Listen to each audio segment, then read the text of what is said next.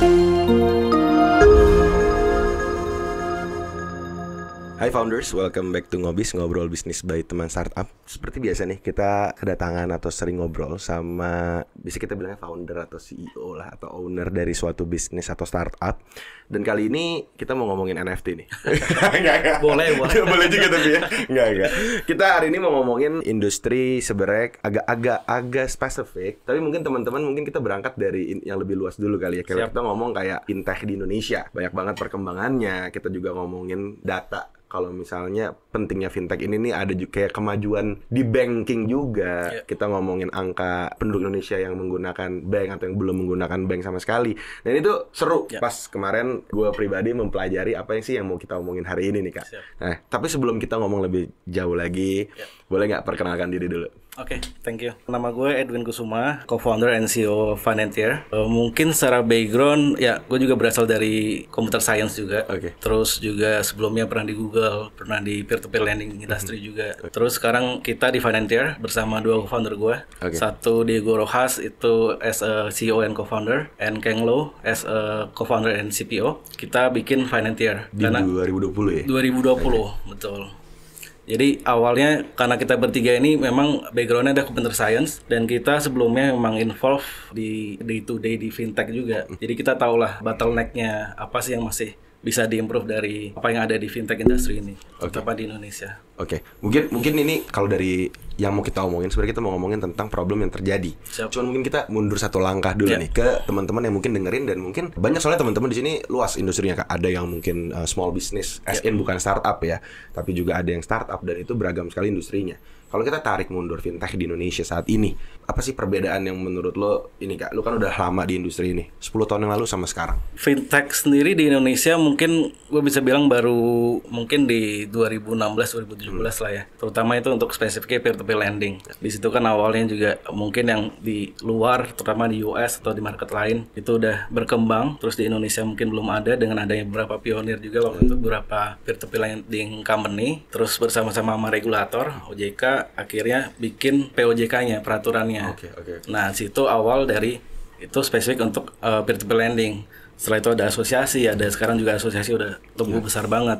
Nah, kalau untuk yang lain juga eh, seiring berjalannya waktu sama tuh. Jadi perkembangannya sama. Soalnya kita ngomongin fintech itu kan nggak cuma peer to peer lending ya. Iya iya banyak. Mungkin banyak dari kita juga yang oh fintech equals to peer to peer lending atau pinjol atau Hmm, iya, sekarang. Sebenarnya enggak gitu karena fintech itu kan luas. Eh, kayak misalkan dompet digital atau mungkin e-money atau mungkin yang ada di ekosistem lainnya juga fintech itu. Jadi fintech bukan cuma peer to peer lending dan mungkin eh, karena gue juga berasal dari peer to peer lending industri juga. Yang paling penting itu banyak yang berusaha mencoba masuk ke industri ini Ya. tapi dengan cara yang ilegal gitu. Ya, ya, Jadi ya. yang perlu diingat juga kalau mau eh, menggunakan fasilitas dari fintech platform ya, entah itu lending, entah itu dompet digital, entah itu untuk pembayaran, pastiin dulu bahwa itu legal, itu tercatat atau berizin di eh, otoritas tertentu gitu, baik Iya, iya. OJK atau Bank Indonesia. Karena kadang-kadang over promising juga ya yang Betul, ditawarin ya. Yang tadi betul. lo sebut ilegal itu ya kayak. Betul. Tapi tadi pas lo bilang apa namanya pionir 2016 itu tuh nama-nama kasih boleh ngasih kasih inisial gue gue kok gue nggak inget ya yang maksudnya yang pionir tuh Mungkin yang gue tahu aja ya, Iya, gue iya, takut iya. salah juga. Eh, Di ada Investri, Amarta, oh iya iya, Bang iya. Teman. Kalau satu lagi, itu takut salah jadi mendingan yang gue tahu aja itu. itu itu 2016an nih 2016 2017 lah. nah jadi waktu itu juga kita dipercepat buat kayak ada asosiasinya peraturan itu juga apa mungkin kayak di, dikebut juga karena ada perkembangannya karena usernya juga ada waktu Iya. di 2016 itu ya Jadi sama mungkin nggak cuma di Indonesia ya di negara-negara lain itu juga kadang-kadang peraturan atau regulasi itu ada dari karena demandnya dulu Iya, dari iya, market iya. kan. Dari industri sorry, industri lihat ada demand di pasar di market. Nah di situ baru bersama-sama sama regulator untuk membentuk regulasinya gitu. Oke oke. Dan Finantier ini berangkat dari problem utama yang di state nih adalah angka underbank di Indonesia yang menduduki peringkat keempat di dunia. Ya. Dan terus Finantier ini sebenarnya hadir untuk punya visi menjadi eh, visinya adalah financial inclusion di Indonesia Ya. dan berharap dapat membawa angin segar untuk penyempurnaan ekosistem yang ada di Indonesia khususnya di fintech ini. Betul. Nah, sekarang kita tarik lagi nih ngomongin underbank. Underbank underbank dan unbank itu bedanya apa sih, Kak?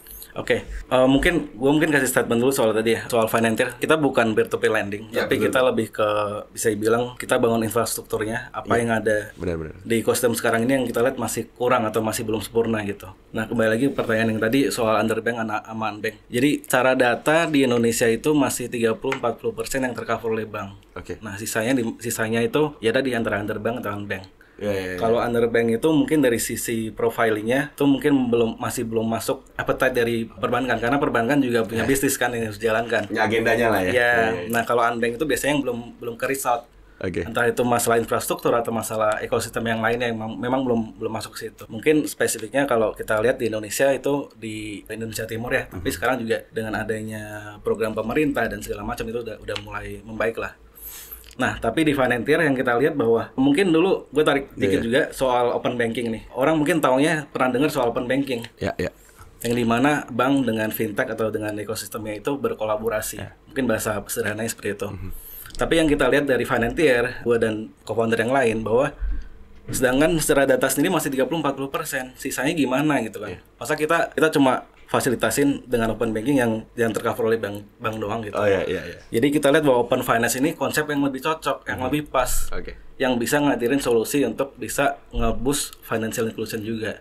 Karena memang ada problemnya itu dan challenge-nya mungkin kalau tadi lo ngomong kak di Indonesia ya mungkin karena ya negara kita kan luas gitu. Betul, Memang betul. tidak tercover. Betul. So dan kalau tadi open banking ya nggak menyelesaikan masalah luasnya gitu. Betul. Jadi dengan open finance inilah yang hadir lah makanya finan Finantier ini Betul. dari tim dari tim dan juga visinya ke depannya. Betul. Tapi dengan visi yaitu financial inclusions. Boleh nggak sih ngejelasin ke kita kita nih dengan visi itu sebenarnya output terakhirnya apa sih sebenarnya financial inclusion itu benefitnya apa? Oke. Kondisi seperti apa yang kayak ideal lah untuk ekosistem ini? Jadi kalau ngomongin financial inclusion sendiri itu kondisi di mana terjadi pemerataan dari sisi akses ya. Oke. Kita ngomong dari sisi apa misalkan satu produk atau Hmm. mungkin service yang lain gitu. Ya, Karena kalau kita ngomongin produk, service, oh yang di misalkan yang di di Pulau Jawa dengan yang di pulau luar gitu di Indonesia Timur atau di mana gitu itu juga belum tentu sama. Karena kembali lagi profiling dari setiap individunya berbeda-beda. Tapi yang financial inclusion yang ada yang ditekankan adalah aksesnya. Kalau di Jakarta bisa dapat fasilitas ini A B C D E, artinya di di daerah lain juga harusnya bisa dong karena eh, mungkin ada kebutuhan. As simple as misalkan untuk UMKM, kebutuhan untuk mendapatkan working capital atau perputaran modal usaha. Nah, kayak gitu. Nah, yang kita harapkan dengan financial inclusion ini adalah semua itu memiliki akses yang merata. Jadi ketika mereka punya kebutuhan untuk dapat akses finansial juga sudah ada, sudah tersedia. Mereka mau leverage istilah digital journey mereka di platform baik itu yang financial atau non financial juga udah bisa. Karena gini dulu mungkin gue tarik ke belakang juga orang misalkan punya kebutuhan dia mau apply gitu ya apply working capital misalkan di bank. Itu kan prosesnya panjang. Dan itu sangat sangat sulit. Maksudnya eh, mungkin ya karena banyak juga ya karena banyak juga yang harus diverifikasi antara apakah dari segi usahanya dari segi kolateralnya jaminannya dan segala macam. Nah sedangkan sekarang zaman juga udah terdigitalisasi nih mau nggak mau. Ya kan semua udah mulai digital. Loan juga sekarang udah ada yang istilahnya lebih praktis lah dengan peer lending atau mungkin KTA perbankan juga se- sekarang semuanya udah digital. Nah tapi di perkotaan mungkin lebih dapat bisa dibilang apa ya exclusivity karena mereka aksesnya juga lebih mudah. Jangan di, di daerah gitu ya. Misalkan gue punya kebutuhan untuk oh gue mau ngembangin toko gue gitu. Hal yang diminta adalah A B C D E gitu tapi di daerah mungkin banyak yang belum belum terdigitalisasi juga. Mereka masih manual, cash basis. Nah, cash basis itu kita dengan ekosistem ya, makanya kita sebut open finance. Kita dengan ekosistem yang ada di situ, kita bisa leverage digital footprint dari tiap individu Oke. atau UMKM untuk kita bisa kendalikan sumber data untuk dimanfaatkan untuk dapat akses finansial itu. Oke. Gitu. Berarti yang dibahas ini sebenarnya bukan produknya tapi lebih ke arah aksesnya kan. Betul. Kalau kita ngomongin produk ya mungkin produknya pun ada, sudah ada gitu. Cuman akses itu yang mereka mungkin sus- susah kali ya untuk mendapatkan. Produknya sudah ada, Oke. mungkin masih sifatnya konvensional. Oke. oke. Sekarang semuanya dengan pandemi juga itu Iya, kan udah digital ya. dengan eh, apa new norms ini Iya, iya, semuanya udah digital. Ca- Cash basis itu udah mulai di udah mulai turun. Ya. Secara data pun tahun lalu itu untuk transaksi uang elektronik itu da- da- dari data Bank Indonesia itu naik sekitar 61 persen 61 persen 2021. per tahun 2001. Iya. Karena apa? Kita lihat 2020 yang sebelumnya orang itu bisa transaksi secara cash dengan ada pandemi orang jadi mungkin mengurangi penggunaan cash semuanya mau ngomong harus transformasi ke digital. Nah kalau tapi kalau di di daerah yang mungkin yang uh, belum se sedevelop yang di perkotaan apalagi di Pulau Jawa itu gimana ya kita harus kerjasama dengan ekosistemnya. Oke. Karena digital footprintnya ada di ekosistem itu. Oke. Gimana kita bisa leverage datanya untuk bisa memfasilitasi kalau memang ada kebutuhan. Oke, memang jadi sebenarnya kan kalau kita bahas dengan dengan conventionality ini yang kita tahu lah dulu. Kalau sekarang orang suka bercanda, KTP masih difotokopi lah dan sebagainya gitu. Sebenarnya kan ini sama sama juga dengan hal transaksi, apalagi kita ngomongin UMKM, apalagi kita ngomong di daerah Ya. gitu. Hal ini yang sebenarnya mau dijadikan kayak kemudahan nantinya. Karena kita bisa nge-record semua tadi digital footprint tadi gitu. Intinya sebenarnya itu kan kan. Ya, exactly. Oke. Tapi mungkin gue tambahin dikit, exactly. Lu bilang soal KTP masih minta difotokopi Iya, iya, iya, lah, data-data yang paper based itu juga masih minta difotokopi atau dikirim uh, soft copy-nya gitu. Itu kan text time. Iya iya iya. iya. Misalkan satu individu atau UMKM ya, dia punya kebutuhan mendesak nih. Dia mau dia mau akses financial product Iya, iya. dari bank atau dari fintech atau dari mana pun. Tapi dia diminta data-data itu. Pertama itu nggak efek eh, nggak efisien, nggak- Iya, iya. dari waktunya butuh a lot of time Iya. to prepare. Terus kedua juga nggak aman. Oke. Lu kasih fotokopian ya kalau disalahgunain kan Iya, juga iya, repot iya, kan. Iya benar benar benar. Nah, benar. dengan adanya Financier, Mhm. kita provide itu semua by API. Oke. Dan data itu udah di-enrich. Oke oke. iya, itu yang penting karena data itu mungkin ya orang bisa bilang oh gue punya data ini gue punya data Oke. ini tapi kalau data itu sendiri sendiri juga nggak di enrich nggak istilahnya nggak di, di- diolah dengan baik ya. Buat financial institutionnya juga butuh effort untuk bisa proses. Iya karena ambil waktu lagi kan. ambil Dan- waktu iya, lagi. Iya, iya, nggak cuma waktu bro. Jadi mungkin orang taunya fintech itu udah udah sophisticated ya. Iya, semuanya iya. bisa cepat segala macam. Tapi masih ada manual prosesnya Iya, oke. Nah, ketika itu semuanya udah by API udah udah udah lebih cepat, ya diharapkan dengan itu bisa memberikan fasilitas yang lebih cepat dan lebih baik juga produk yang lebih cocok untuk calon pengguna atau nasabah atau consumernya Lebih lah. efisien lah ya. Efisien. Oke. Tapi ini ini gue bakal nanya, nanti gue bakal nanya kalau boleh ya, gue bakal Boleh, nanya boleh. as in bener-bener teknis gitu, teknis kayak tadi UMKM gitu. Mungkin teman-teman juga, oke gue udah ngerti di whole idea, tapi gue nggak ngerti as in gimana gitu. Iya. Cuman mungkin terlalu cepat kali gue langsung nanya itu. Gue masih pengen tahu juga kalau tadi lu bilang di Indonesia, mungkin kalau kita selalu orang selalu ngomong, ya di ini mah sekarang udah canggih, udah ini udah ono ini udah ini ini Jakarta, Jabodetabek. Hmm. Sedangkan kalau kita minggir dikit tadi ke Indonesia Timur pun mungkin masih banyak tantangannya. Iya. Tapi apakah tantangan yang dihadapin Indonesia sama kalau kita ngomong apa? Mungkin paling dekat Southeast Asia kali ya. Itu sebenarnya di industri keuangan atau di industri ini tuh sama nggak sih atau apa sih sebenarnya tantangannya? Oke. Kalau dibilang tantangannya pasti berbeda ya dengan kondisi demografik atau kondisi dalam negerinya juga yang berbeda-beda tiap negara kita nggak Iya, bisa iya. general- generalisir juga gitu. Oke. Kalau dibilang tadi misalkan ada tantangan tersendiri di Indonesia Timur. Memang benar karena mungkin dari infrastruktur belum se-advance yang di Indonesia Ya. Barat atau Indonesia Tengah gitu. Nah, itu tapi sekarang juga kita bisa lihat dengan dari pemerintah juga, dari industrinya juga, asosiasi itu sama-sama tuh ngarep Indonesia Timur. Atau mungkin daerah-daerah mungkin nggak spesifik Indonesia Timur doang lah, mungkin daerah-daerah yang belum terjamah juga gitu. Atau belum Iya, Masih eh, lebih slow kali ya. masih belum perkembangannya. lebih slow. Karena nggak cuma Indonesia Timur sih sebenarnya. Karena misalkan di, di Pulau Jawa pun masih banyak daerah-daerah juga belum ter belum apa ya belum terfasilitasi dengan baik gitu. Nah itu perannya banyak nih kita nggak ngomong soal industri fintech sendiri ada misalkan ada daerah yang misalkan jaringan seluler aja belum masuk gitu iya benar. nah itu kan bukan peran dari industri fintech juga tapi ada peran dari misalkan dari industri telco Iya, iya. dari pemerintah dari state on-nya juga BUMN-nya untuk bisa mempercepat perkembangan di sana gitu. Nah, mungkin yang relatively gue bisa bilang mirip itu Indonesia mungkin dengan Filipina kalau ngomongin spesifik Asia Tenggara ya. Karena kita Financier juga lagi ekspansi ke eh, Filipina juga. Dengan kondisi yang memang terdiri dari pulau-pulau juga. Ya. Terus juga tipikal orangnya mungkin nggak nggak sama persis tapi kurang lebih mirip lah. Education. edu- education juga mirip. Terus untuk dari segi pendapatan segala macam itu beda-beda tipis lah. Beda tapi nggak terlalu banyak gitu. Kalau dibanding dengan yang lain mungkin ya Singapura kita tahu juga tapi juga marketnya kecil kan Iya, iya, iya, Jadi gitu. Jadi jadi memang nggak bisa sama. Tapi mungkin ya yang dihadapin ya balik lagi nih dari segi infrastruktur negaranya. Tadi kayak negara kepulauan ya mungkin ada kemiripan lah ya. Ya. Ada kemiripan gitu. Oke. Kayak ini pertanyaan-pertanyaan selanjutnya sebenarnya ini udah dijawab tadi di pertama makanya gue udah get the whole idea. Cuman mungkin kita bakal ini kali ya, gue bakal lebih mempertanyakan tentang kalau tadi sebagai open finance platform di Indonesia nih, Financier gitu. Tadi sudah menjelaskan tentang open finance di mana akses itu bisa di- digunakan pihak dan akan mempercepat efisiensi. So, kalau kita bilang Finantier ini produk atau jasa lah, produk dan jasa gitu. Sebenarnya yang menikmati itu siapa? Oke, jadi Finantier itu B2B, Mhm. B2B service ya. Kita bukan 2C, kita bukan standalone application. Oke. Jadi kalau orang cari, misalkan di Google Play Store atau di App Store juga nggak bakal ketemu app Oke, Financial iya, iya. gitu. Karena kita lebih memberikan service ke fintech platforms. Nah, iya, ngomongin spesifik produk kita apa aja? Yang pertama ada account aggregation, yang kedua ada innovative credit scoring, Oke. yang ketiga nanti yang ini masih dalam proses untuk payment initiation. Oh sampai ke payment juga. Iya, Nah, nah- karena lu jemput dari bawah ya payment itu ya. Betul. Karena gini, yang kita lihat tadi mungkin gue juga ada cerita dikit soal data ya. Iya. Kalau ngomongin data doang itu something yang mungkin valuable, tapi Oke. industrinya sendiri itu masih kesulitan untuk bisa ngolah itu sampai jadi action produk yang action, actionable.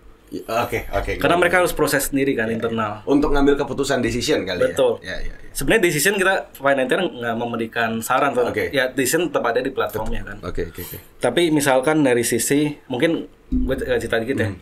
Kalau misalkan di lending industry itu ada yang namanya credit analyst. Oke. Jadi prosesnya masih manual, masih pakai eyeballing satu-satu cek ya. Pertama lama butuh resource yang lumayan baik juga. Perusahaannya butuh siapin manpower, komputer atau laptop Ya. gitu ya. Nah terus juga prosesnya juga takes a lot of time. Yang kedua adalah potensi human errornya masih sangat tinggi. Betul. Karena human involvement masih ada di situ. Yang ketiga keamanan datanya. Hmm, ya. Nah lu punya kredit analis tapi gimana bisa make sure bahwa datanya nggak difoto atau nggak disalahgunakan Ya, ya, kan? benar. Oke. Nah dengan ada Financier kita udah bungkus itu semua di enrich datanya. Oh nggak cuma dari misalkan dari pembayaran datanya atau dari transaksi lo di bank misalkan atau di data telco lo. Tapi semuanya udah istilahnya kita olah lah ya. Jadi satu hal yang lebih actionable by API itu lebih aman karena ada enkripsi ada, ada ada security measurement juga yang kita terapkan situ gitu. Ya, berarti lu mengeliminasi tadi tiga hal tadi kan Betul. errornya, terus ketidakefisienan yang terjadi, keamanan. Sekarang Betul. lu bisa hadir ya ya ini. Sama coverage-nya satu lagi. Oh iya benar. Karena- luas. Mungkin ada juga yang udah provide seperti itu ya. Pertama tapi masih raw, masih masih mentah atau belum belum diperkaya oleh data-data yang lain. Kalau di Financier kita coverage-nya ini banyak gitu. Nggak cuma telco tapi ada misalkan pembayaran, eh, utility payment misalkan atau mungkin dari eh, dari perbankan atau dari yang lain. Nah, itu yang kita enrich jadi satu yang lebih valuable buat konsumen apa eh, klien kita. buat klien-klien B2B tadi Betul. ini ya gitu. Berarti berarti klien B2B ini berarti tadi selain P2P apalagi Kak?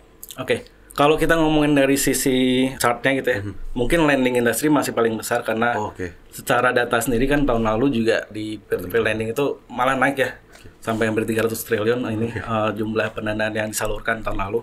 Itu da- data dari OJK. Lending itu mungkin masih sektor yang paling banyak, paling besar, tapi yang lain itu kayak perbankan atau mungkin e-commerce Oke. atau mungkin yang yang non fintech gitu. Iya, iya, iya. Karena apa? Contohnya misalkan e-commerce ya atau mungkin platform investasi deh. Mereka kan juga butuh EKYC. Butuh apa? EKYC, EKYC. I- eh, Electronic Know Your Customer. Oke, oke, oke. Jadi yang sebelumnya kalau misalkan lu di bank KYC-nya itu by oh harus fotokopi KTP Oke, tadi iya, iya, segala macam iya. itu semuanya elektronik sekarang. Udah nah ada itu ya. namanya EKYC. Oke, oke. Mereka juga butuh mereka butuh kurasi kurasi nih Oke. calon nasabah atau penggunanya lah. Oke.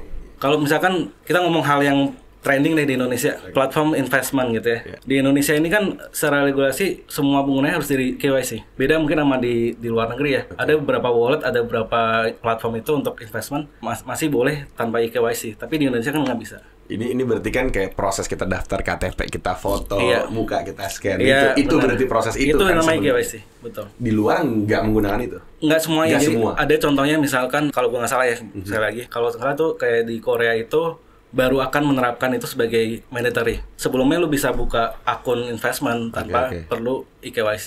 Oke oke oke oke. Jadi proses itu juga ada juga di platform ini gitu kan sebenarnya. Iya. Dan lebih lengkap lagi jangkauannya. Betul. Oke oke. oke. Berarti kalau misalnya kita ngomongin tadi perannya ya sebenarnya nggak cuman di landing doang dan masih banyak lagi industri-industri lain yang memang dibantu lah kita ngomong Iya. dilengkapi oleh fina- hadirnya Finantier ini. Dan kalau kita ngomongin tadi akhirnya nih kita turun lagi ke akses data data seperti yang disediakan oleh Finantier. Kalau tadi tadi ada account aggregator, ada Account credit aggregation. eh aggregation sorry, terus kredit kredit Innovative credit scoring. itu sama satu lagi payment tadi. Payment. Tapi sebenarnya actually output apa sih yang output data seperti apa sebenarnya yang akhirnya lo, lo bisa sajiin nih kak di Finantier itu. Oke. Nah, pertama dari sisi kita ngomongin KYC dulu ya. Mhm. Biasanya apa sih yang di yang perlu divalidasi atau diverifikasi verifikasi? Itu dari misalkan SMLS KTP kan. Lu perlu ngecek KTP-nya nih fabricated atau enggak gitu. Iya, karena iya, iya, iya. gue dulu juga involved di LP2 lending itu banyak banget Iya, yang iya. yang palsu gitu. Iya, iya, dan iya. itu cost itunya juga murah banget. Ternyata ada udah ada kayak apa ya komplotannya gitu. Vendornya ya. vendornya jadi Iya, iya. itu kan jadi hal yang mau mau yang melakukan juga untuk Iya, iya. industrinya kan Mhm. nah terus KTP atau mungkin cek NPWP Iya, iya, iya. iya. cek pendapatan Iya. kalau misalkan selama ini untuk ngajuin KTA di bank misalkan, lu, lu diminta slip gaji. Iya. Pertama, nggak semua perusahaan ngasih akses Slip itu. gaji. Kalau lu mau lu request dulu ke HRD, ya just take a lot of time, mungkin. Betul. sudah sebulan dua bulan. Kedua, slip gaji juga bisa difabrikasi. Lu bisa Iya, bikin benar. sendiri kan. Iya. PDF juga sekarang bisa diutak-atik gitu kan. Nah, kalau kita bisa provide itu dari by API, Mhm. misalkan dari uh, bank statementnya. Bank statement kan nggak bisa nggak bisa difabrikasi. Iya, Karena iya, langsung ngambil ke sumbernya ke bank gitu misalkan. Oke, oke. Oh iya iya. Nah, iya, itu iya. lebih lebih valid, Lebih legit lah lebih ya. legit Iya, pasti. Nah, kembali lagi tadi oh, ngomongin data gitu ya. Kita ngomongin industri yang sekarang lagi booming juga, digital banking. Dulu bank-bank ini kan lihat oh fintech ini kayaknya bakal jadi saingan nih kan.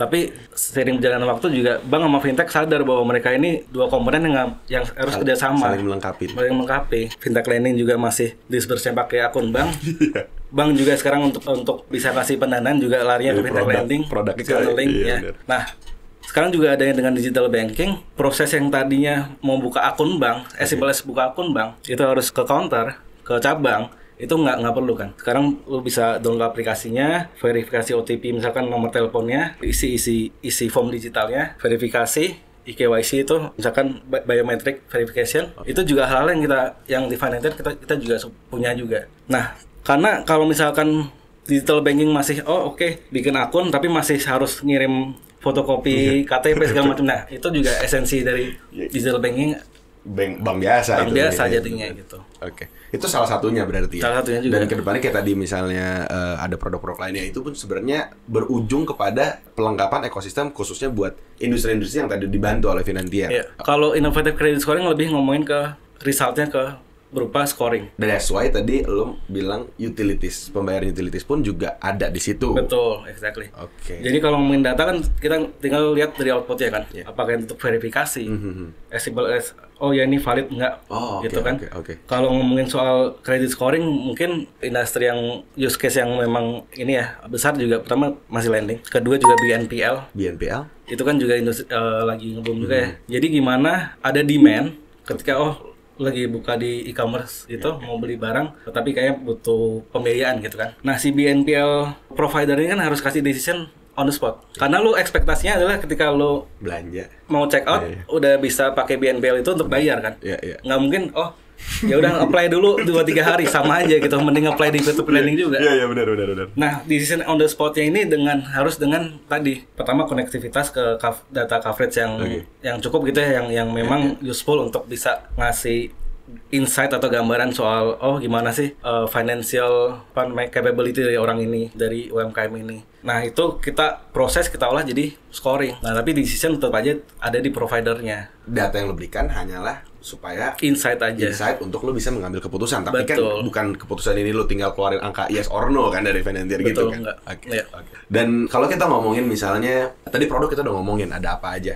Kalau kita ngomongin ke SMEs deh atau early startup di Indonesia nih, relevansinya dengan kebutuhan service yang tadi di, kita omongin sama Financier gitu. Itu sebagai konsumen kah bisa atau sebagai yang pihak yang mana sih sebenarnya yang bisa diuntungkan? Oke, ini kita ngomongin SME yang konvensional Coba ya. kita ngomongin konvensional dulu Oke, kali ya. konvensional sekarang sebenarnya kalau di sisi yang mana bisa dua-duanya. Karena pertama dari sisi supply-nya dulu ya. Oke. SME ini kan juga sekarang udah iya. terdigitalisasi juga. Iya. Agak belibet.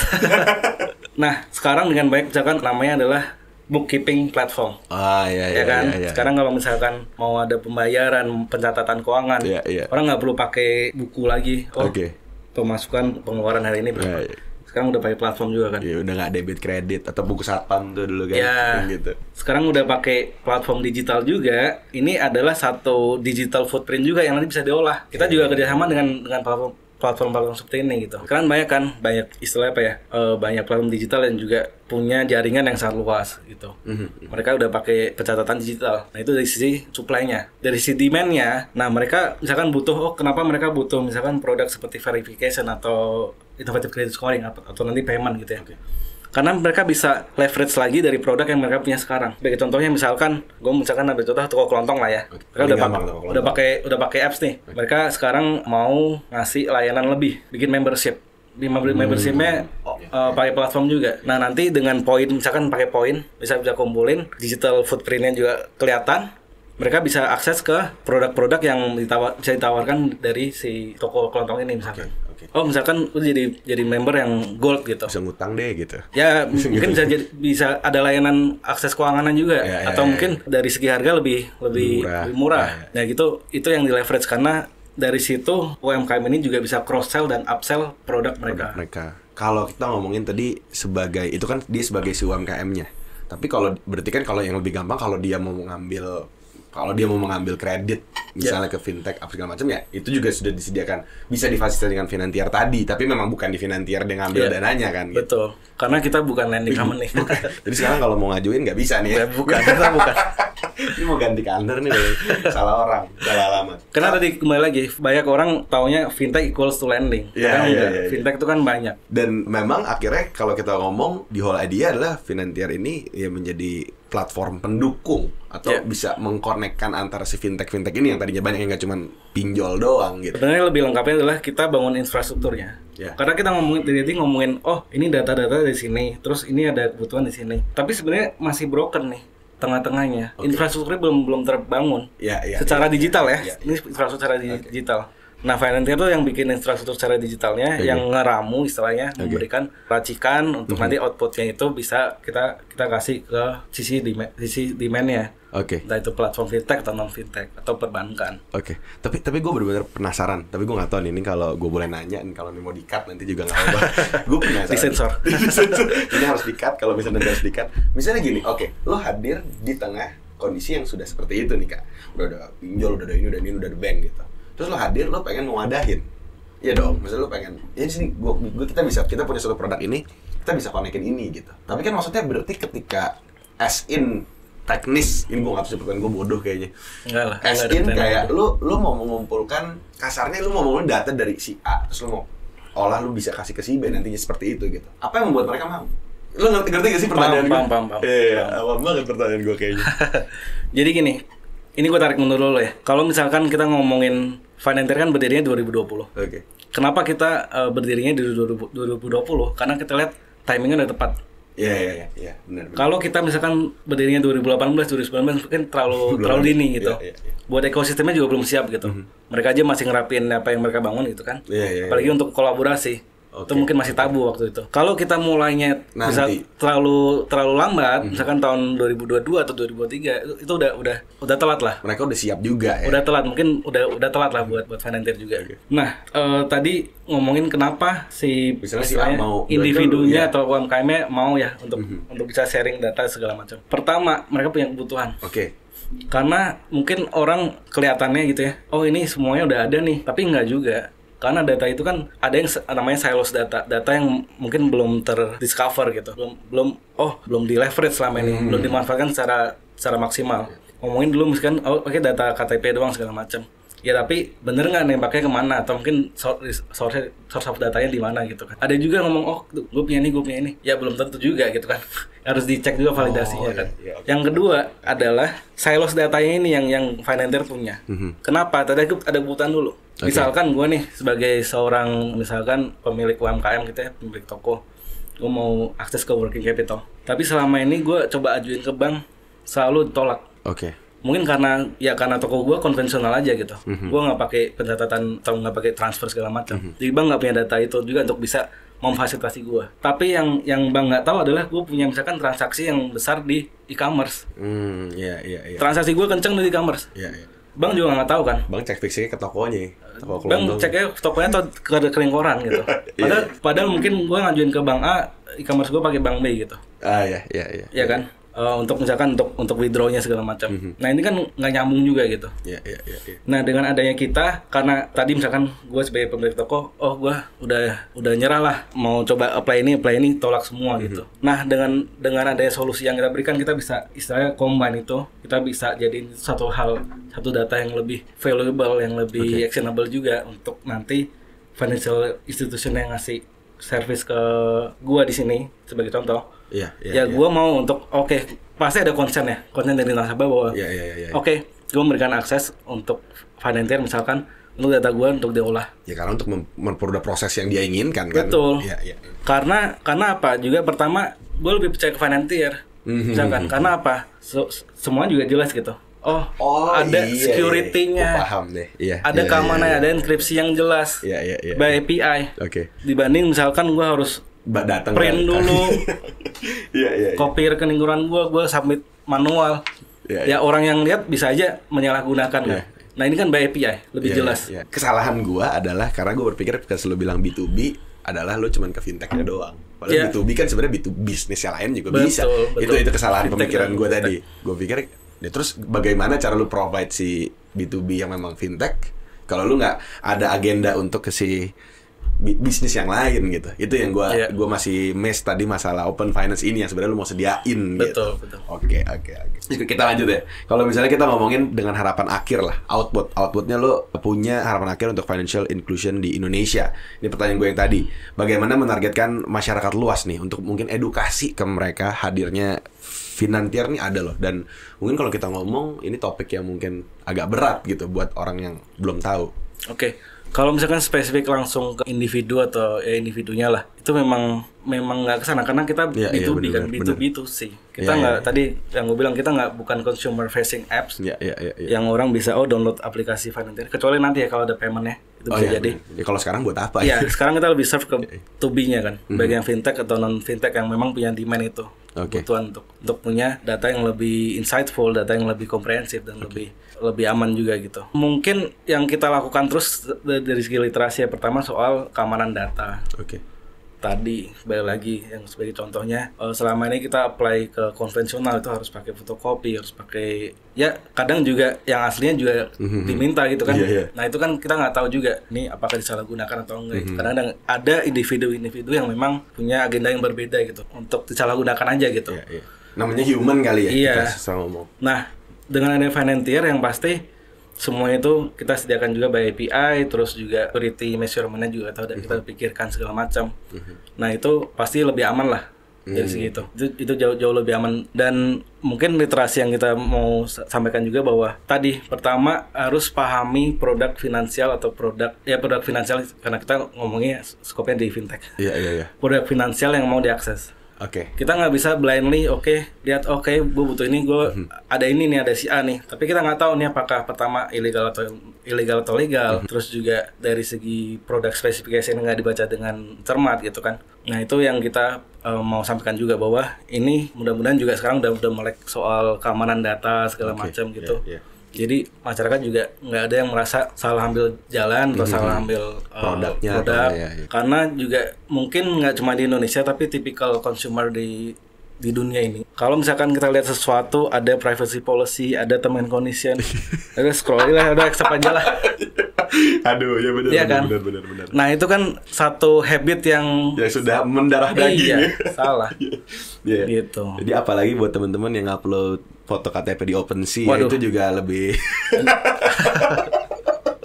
Kemarin gue baca beritanya gue, aduh orang tuh ada aja lagi ya, Iya, sama. Oke, tapi ini sebenarnya pertanyaan terakhirnya adalah tantangan yang dihadapin. Cuman gue udah ngebayang tantangannya apa. Mungkin gue lebih mau mempertanyakan lo atau mau nanya pandangan lo nih. Lo pernah juga di P2P lending. Lo juga tadi sempat state kalau P2P itu ini kita ngomong P2P lagi sekali lagi Finantier bukan P2P. Tapi karena ini mungkin eh, supaya bisa ngebayangin sebenarnya ekosistem seperti apa yang mau dibikin gitu.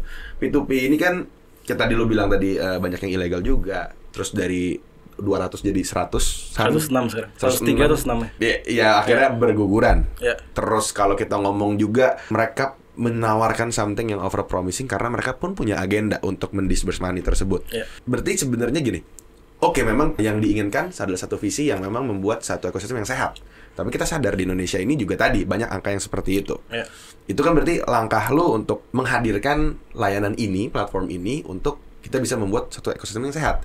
Tetapi kalau kita ngomong P2P yang tadi oknum lah kita ngomongnya atau mungkin beberapa P2P ini, berarti ya mereka tidak peduli terhadap jangankan ngomong finansial, ngomongin background checking aja pun enggak. Hmm. Itu sebenarnya yang terjadi yang dihadapi saat ini pun ada tantangan seperti itu Ya, kan. Bener. Jadi mungkin gue bisa sharing sedikit.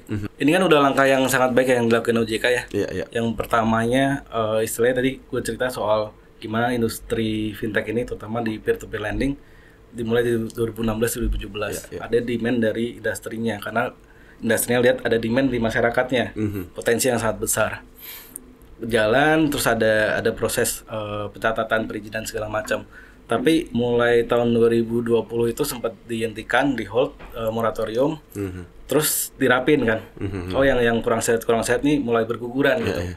Sekarang udah tersaring nih kalau nggak salah 100 106 deh nah dari 106 ini juga bakal terus di istilahnya diawasi kalau kalau di otoritas tuh ada ada pengawasan juga Hmm. Iya, iya. performanya seperti apa segala Iya, macam iya. Dan itu terkontrol di asosiasi juga ya, Terkon- yang non government. Betul, terkon- yang non government terkontrol di asosiasi, kalau otoritas di OJK. Oke. Nah itu juga sangat ba- sangat baik ya, soalnya kan istilahnya gue dulu juga involved di industri itu, jadi gue tahu. Misalkan ada contohnya ada permintaan untuk bisa mengarah ke sisi produktif, jadi pinjamannya produktif, Oke, oke, nggak cuma iya, iya, konsumtif. iya, Itu kan gimana istilahnya dari otoritas juga mengarahkan gitu untuk bisa oh ini nggak cuma yang konsumtif atau individu Iya, aja yang yang perlu dibantu tapi yang produktif ini juga perlu dibantu.